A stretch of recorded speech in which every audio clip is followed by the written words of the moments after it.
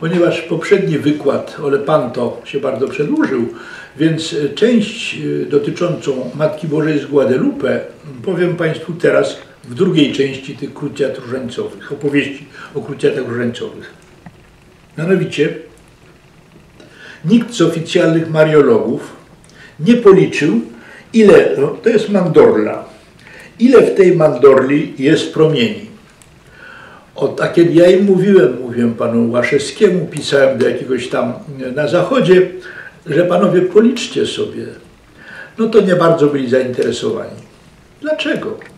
Mianowicie chodzi o to, że gdzieś tam z 20 czy 30 lat temu była jakaś sugestia ze strony papieża Jana Pawła II, bo to była tylko sugestia, że należałoby wprowadzić tajemnicę światła, co spowodowałoby, że y, ta starożytna, 800 lat mająca tradycja różańca zostałaby zdeformowana, zmieniona i przeniesiono by y, ze 150 y, zdrowaś Mario na 200, no bo cztery tajemnice światła by dochodziły.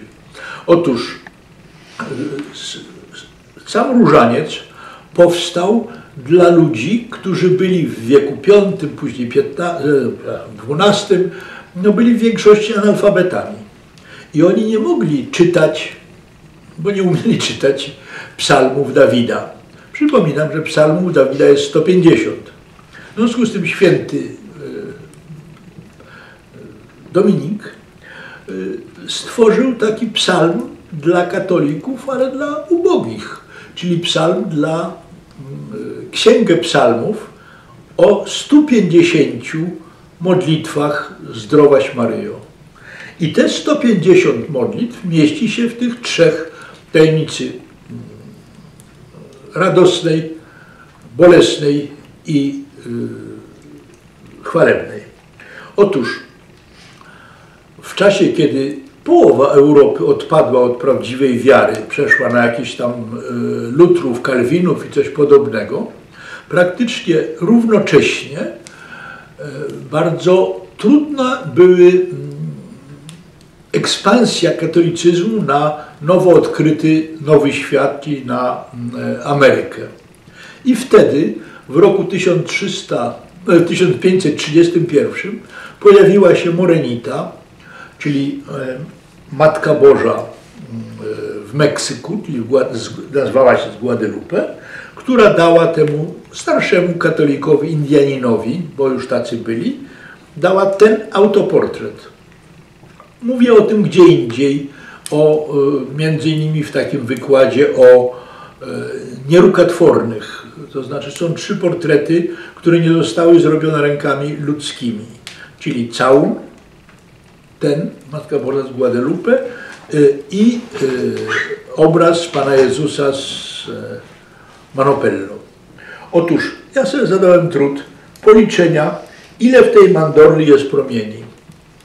Otóż byłem bardzo zdziwiony, kiedy się okazało, że ich nie jest 149, tylko jest 150.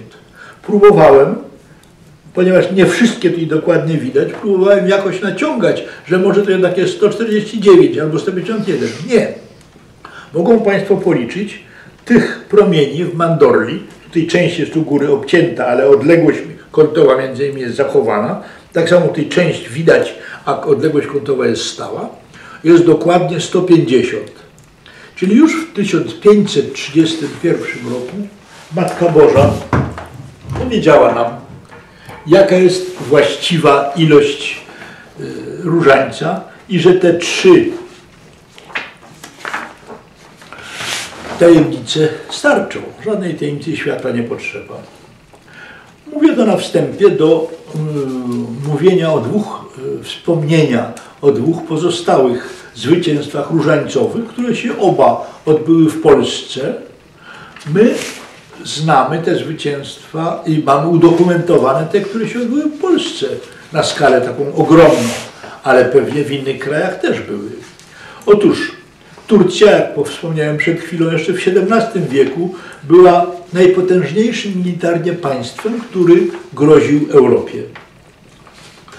I w 1621 młody, dzielny sułtan rządny zwycięstw, Osman II, szedł w kierunku y, granic Polski, by, jak powiadał, to jest napisane, połknąć całą Polskę i pod, podbić wszystkie kraje chrześcijańskie. To był czas, kiedy myśmy byli rzeczywistym przedmurzem chrześcijaństwa. Tak jak to potrafiliśmy zrobić, a mieliśmy wielkich wodzów i wielkich rycerzy.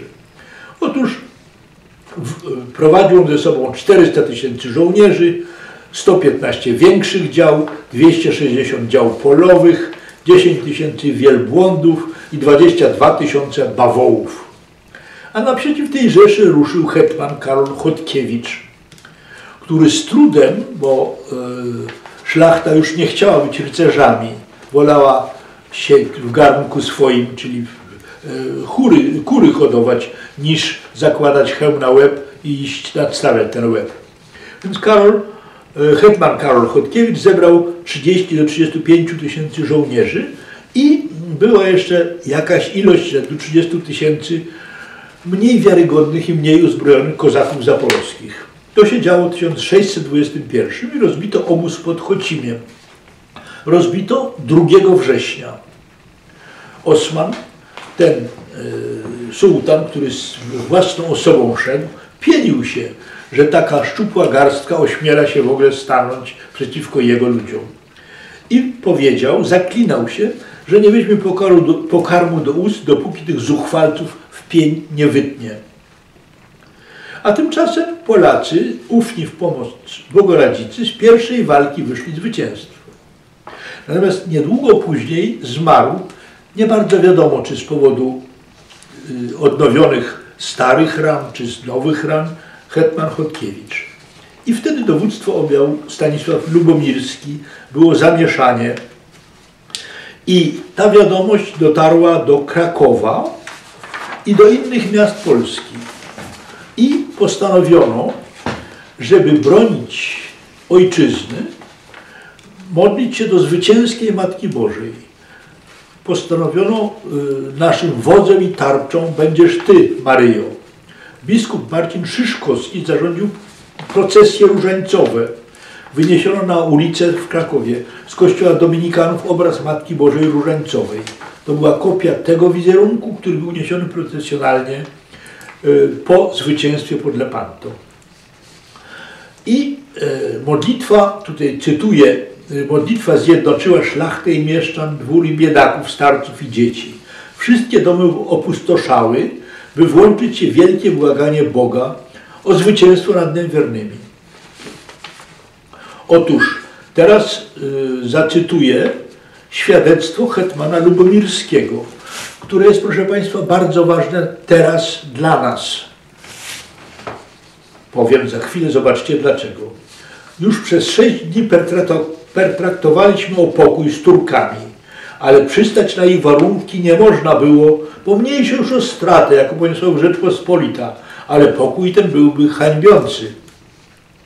Wiem, wtem w nocy z 3 na 4 października, gdym nie spał, bo nieszczęścia ojczyzny sen odegnały ode mnie, pojawiła mi się Matka Boża. A kto by jej nie rozpoznał, hetman Lubomirski, e, po otaczającym ją świetle ze wszystkich barw, od których noc zajaśniała mi jasnością, nawet w życiu moim niewidzianą za dnia. I usłyszałem od niej tylko jedno słowo. Wytrwałość. Tyle. Znikła ja w zachwyceniu ukląkłem, lecz potem dopiero odzyskałem wiedzę, co mi czynić należy.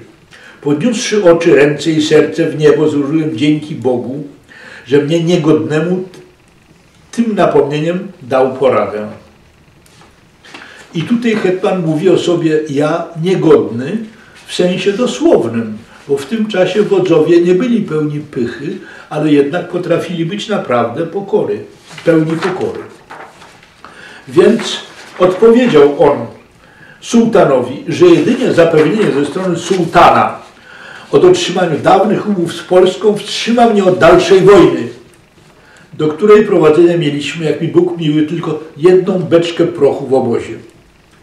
I to odpowiedzią tak mu zaimponowałem, że wielki wezyr de Laverbasza słał nam łagodniejsze warunki, ale ich nie przyjąłem, obstając przy pierwszych, które podałem. I tak po trzydniowym rokowaniu, mając w pamięci święte słowo wytrwałość, przywiodłem pogan do tego, że zrobiłem pokój, jaki sam chciałem. Tak opisała to Ewa Hunter w zwycięstwach różańcowych. Otóż następnym zwycięstwem, które było, dokonało się również dzięki pobożności Polaków, ale i innych Europejczyków, było zwycięstwo e, nad e, Jana III pod Wiedniem, nad Turkami, gdzie znów przeważające były siły tureckie. Tutaj po tym zwycięstwie było pamiętne Veni, Vidi et Deus Vincit. Zmienione to, co mówił pełen pychy Cezar, który powiedział, przyszedłem, zobaczyłem i zwyciężyłem. A Jan skromnie powiedział, przyszedłem, zobaczyłem i Bóg zwyciężył. I dzień 12 września papież ustanowił świętem Najświętszego imienia Maryi. Otóż wtedy też w całej Polsce i yy, w całej Austrii i w całych księstwach italskich, czyli włoskich, były krucjaty różańcowe za powodzenie zwycięstwa wojsk katolickich nad wojskami półksiężyca, islamu. Trzecią taką wielką krucjatą różańcową wygraną zwycięstwo na wielką skalę to było odparcie Turków, którzy w 1716 mm, zgromadzili 200 tysięcy żołnierzy i poszli lądem na Republikę Wenecką mieli przeszło trzykrotną, prawie czterokrotną przewagę nad wojskami katolickimi, które były dowodzone przez księcia Eugeniusza Sabałckiego.